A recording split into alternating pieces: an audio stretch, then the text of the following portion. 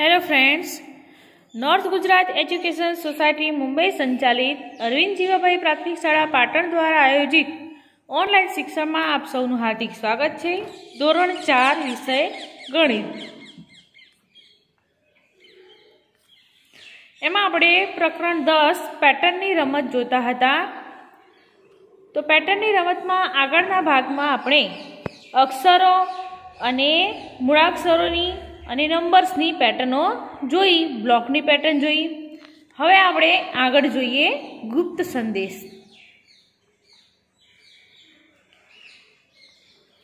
ગુપ્ત સંદેશ એટલે કે ખાનગી સંદેશા. આપણે કોઈને ખબર ના પડવે દેવી હોય તો એના માટેની અલગ ભાષા હોય છે. તો એ ભાષાનો ઉપયોગ કેવી રીતે કરવો એ અહીંયા જોઈએ. યામિની છે અહીંયા કે તું શું કરે છે? તો સામેનો મિત્ર કહે છે કે મારા દોસ્તે મોકલેલ, આ નોંધ વાંચવાનો પ્રયત્ન કરી રહ્યો છું, પરંતુ સમજી શકતો નથી. કે એના દોસ્તેને સંદેશ મોકલ્યો છે, પણ નંબરો જ લખેલા છે. એમાં શું લખ્યું છે એની એને સમજણ પડતી નથી.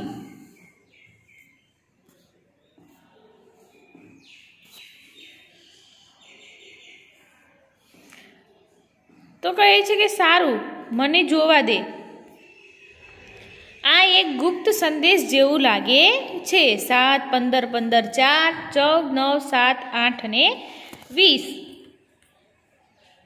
યામિનીએ નિયમ સમજાવ્યો કે અંકોનો ઉપયોગ અક્ષરો માટે થયેલ છે. કે અહીંયા અંકો વાપરેલા છે, પણ શેના માટે? અક્ષરો માટે અંકો વાપરેલા છે. દાખલા તરીકે જે એટલે દસ. તો અહીંયા એબીસીડીના અક્ષર એ બરાબર એક બી બરાબર બે સી બરાબર ત્રણ. એવી રીતે એબીસીડીના મૂળાક્ષરોને નંબર આપી અને જે નંબર એટલે કે જે દસમા નંબરે આવે છે તો જે બરાબર દસ. પી સોળમા નંબરે આવે તો પી એટલે સોળ. અને આવી રીતે પેટર્ન બનાવી છે જો અહીંયા દસ, એકવીસ, તેર અને સોળ. તો દસમો અક્ષર છે જે એકવીસમો છે યુ પછી તેરમો છે એમ અને સોળમો અક્ષર છે પી તો અહીંયા શબ્દ બન્યો છે જમ્પ. એવી રીતે અહીંયા અક્ષરો અને અંકોથી પૂર્ણ કરો યાદી. જુઓ. આખી એબીસીડીને ગોઠવી છે એક, એ એ બરાબર એક, બી બરાબર બે, સી બરાબર ત્રણ. એવી રીતે ઉપર ક્રમશઃ એબીસીડી છે અને નીચે એના પ્રમાણે ક્રમશઃ નંબર્સ આપેલા છે. તો આના દ્વારા આપણે મિત્રને ગુડ મોર્નિંગ લખવું હોય તો કેવી રીતે લખી શકીએ? તો ઉપરના નિયમનો ઉપયોગ કરી જુઓ. જી એટલે છ ડબલ ઓ એટલે ચૌદ ચૌદ અને ડી એટલે ચાર. પછી એમ બરાબર બાર ઓ બરાબર ચૌદ આર બરાબર સત્તર એન બરાબર તેર આઈ બરાબર આઠ અને એન બરાબર તેર અને જી બરાબર છ. તો ગુડ મોર્નિંગ લખવું હોય તો એને ગુપ્ત રીતે આવી રીતે નંબર દ્વારા લખેલું છે. હવે આ નિયમના બદલે બી માટે એક ડી માટે ત્રણ.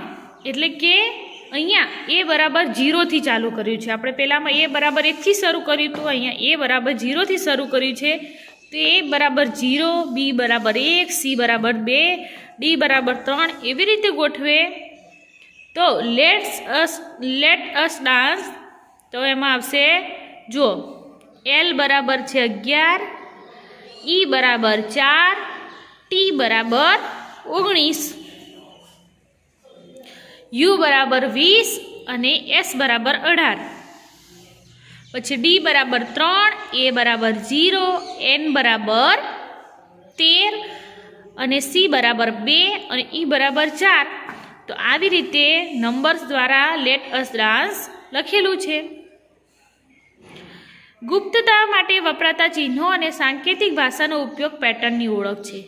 નિયમ જાણવો તે ગાણિતિક તર્ક વિકસાવવાની મહત્વની કળા છે. મતલબ ગુપ્તતા એટલે કે કોઈ સંદેશ આપણે છાનો રાખવો હોય, કોઈને બતાવો, ખબર ના પડે એવી રીતે લખવો હોય, તો આપણે આવી પેટર્નનો ઉપયોગ કરી અને છુપા સંદેશ લખી શકીએ છીએ. અને આવી રીતે પેટર્નને આગળ વધારવું એ ગાણિતિક તર્ક વિકસાવવાની મહત્ત્વની કળા છે. એટલે આપણામાં ગણિત તર્ક વિકસાવવાની વધુ કળા વિકસે છે. વધુ ગુપ્ત સંદેશા છે કે શોભના અને જગુ રમત રમી રહ્યા છે? તેઓ કોઈ ગુપ્ત સંદેશ લખી રહ્યા છે, પરંતુ કોમલ તેને સમજી શકતી નથી. ત્રણ ફ્રેન્ડ છે, જુઓ. કોમલ પણ સમજી શકતી નથી. તો જગ્ગુએ તેને સમજાવ્યું કે તું જો અમે દરેક મૂળાક્ષરને તેની પછીના મૂળાક્ષર સાથે બદલેલ છે, એટલે કે એફ ની જગ્યાએ જી લખેલ છે એનની જગ્યાએ ઓ લખેલું છે, તો બન્યું વાય ઈ એસ બન્યું જેડ એફ ટી મતલબ કે પછીનો મૂળાક્ષર લખી અને સંદેશ લખેલો છે, જેમ કે બોલ લખવું હોય બી એ ડબલ એલ તો બીના બદલે સી લખ્યો છે એના બદલે બી લખ્યો છે. એવી રીતે પાછળનો મૂળાક્ષર લખી અને આખો સંદેશો બનાવેલ છે. તો કોમલ કહે છે, હા, હવે હું સમજી. કે જો મેં લખ્યું છે એકસો બાવીસ X F B S F G S G J F O ઇટી મતલબ શું બન્યું? કોમલનો ગુપ્ત સંદેશ શું થાય? તો તેણે લખ્યું છે વી આર ફ્રેન્ડ્સ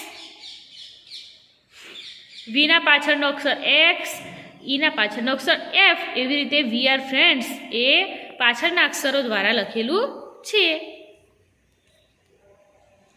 શોભના અને જગ્ગુએ શું લખ્યું છે? તો શોભનાનો સુપર સંદેશ છે I F M M P આઈપીએક્સ BSF ZPV અને ઝેડ એક્સ જે એમ એમ ઝેડપીવી તો એનો અર્થ થાય છે હેલો હાઉ આર યુ અને બીજું છે will you play with me એટલે કે, મારી સાથે રમીશ. તો આ રીતે એણે બે છુપા સંદેશા લખ્યા છે. જગ્ગુનો છુપો સંદેશ શું છે? તો જગુએ લખ્યું છે G J O F U I B O L Z PV અને ઝેડ એફ ટી એનો અર્થ થાય કે ફાઇન થેન્ક યુ પેલી લખ્યું કે હાઉ આર યુ એટલે કયું ફાઇન થેન્ક યુ અને પછી લખ્યું will you play with me તો ઝેડ એફ ટીનો મતલબ થાય યસ સમાન નિયમનો ઉપયોગ કરી લખો meet me on the moon તો એના પાછળના મૂળાક્ષર દ્વારા સમજાવવું હોય તો N F F U N F PO UIF N PPO હવે અલગ નિયમ છે કે તમારા મિત્રોને ગુપ્ત સંદેશ ઉકેલવાનું કહો. સીના સ્થાને એ ડીના સ્થાને બી મૂકી અને ભાત બનાવો. તો જુઓ, ઉપર C D E F G H I અને નીચે એબીસીડી છે. તો સી હોય તો સીના બદલે એ લખવાનો ડી હોય તો ડીના બદલે બી તો એવી રીતે એ બી એને પાછળ લઈ જઈ લઈ ગયા છે. એબીસીડી જ છે બંને. પરંતુ અહીંયા ઉપર એ બી કાઢી નાખ્યો છે અને એને પાછળ લઈ ગયા છે. નીચે નીચે લાઇનસર એબીસીડી લખ્યું છે. તો સંદેશો બનાવીએ. કે સીઓ જે સી આર આર એ માટે આઈ એમ હેપી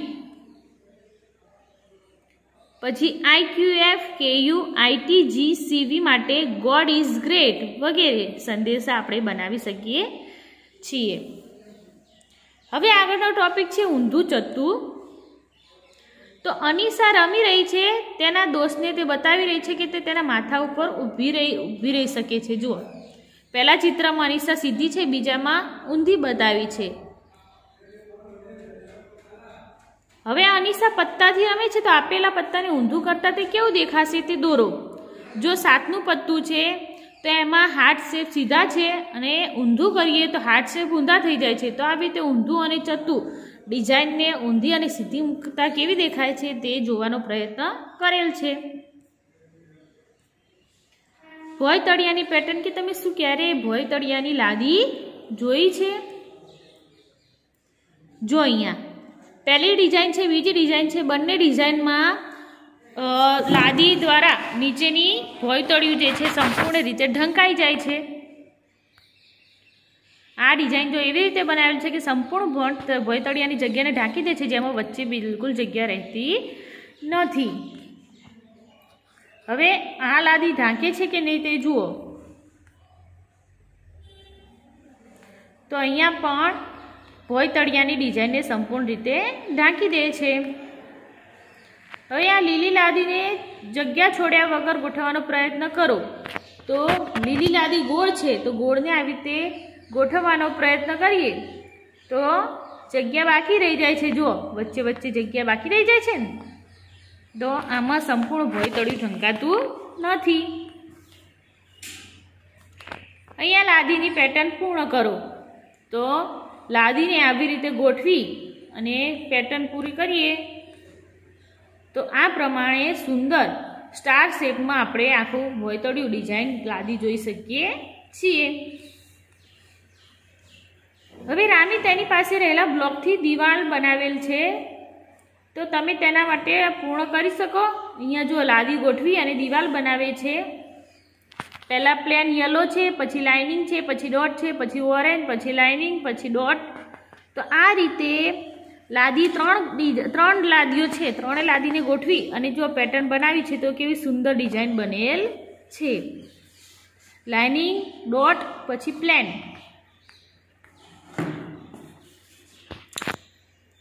હવે નીચેના દરેક પ્રશ્ન માટે આપેલા વિકલ્પોમાંથી સાચો વિકલ્પ શોધીને લખો. એક નંબર નીચેની પેટર્નમાં ખાલી સ્થાનમાં શું આવશે? આ પેટર્ન છે જો આખી. પહેલાં ચોરસ કરેલું છે, પછી ચોરસની ઉપર એક લીટી, પછી બે લીટી, પછી ત્રણ, પછી ચાર કરી આખો ડાયમંડ શેપ આપ્યો છે ચોરસની ઉપર. પછી ડાયમંડ શેપની ઉપર પણ ડાબી બાજુ આડી લીટી, પછી ડાબી ડાબી અને ઉપર જમણી બાજુ ઉપરની લીટી કરી છે. તો હવેની પેટર્ન કઈ આવશે? કે જમણી બાજુની ઊભી લીટી આવશે. તો આમાંથી કઈ આવશે? બ. સોરી ક આવશે ઉપર અને નીચે. નીચેની પેટર્નમાં ખાલી ગોળમાં શું આવશે? તો એક, બે, ચાર, સાત, અગિયાર, સોળ. તો અહીંયા આપણે આગળ આ પેટર્ન જોઈ ગયા છીએ. એકમાં એક ઉમેરો તો બે બેમાં બે ઉમેરો તો ચાર, ચારમાં ત્રણ ઉમેરો તો સાત, સાતમાં ચાર ઉમેરો તો અગિયાર, અગિયારમાં પાંચ ઉમેરો તો છ, પછી છમાં પાંચ ઉમેરાય તો છમાં પછી સોળમાં પછી છ ઉમેરવાના. તો સોળમાં છ ઉમેરો તો બાવીસ, બાવીસમાં સાત ઉમેરો તો ઓગણત્રીસ, ઓગણત્રીસમાં આઠ ઉમેરો તો સાડત્રીસ. આમાં ક્રમશઃ નંબર એક એક ઉમેરતા જઈએ તો આવી રીતે પેટર્ન બનાવી શકાય. જવાબ આવશે બાવીસ. તો આપણો પાઠ અહીંયા પૂરો થાય છે. Thank you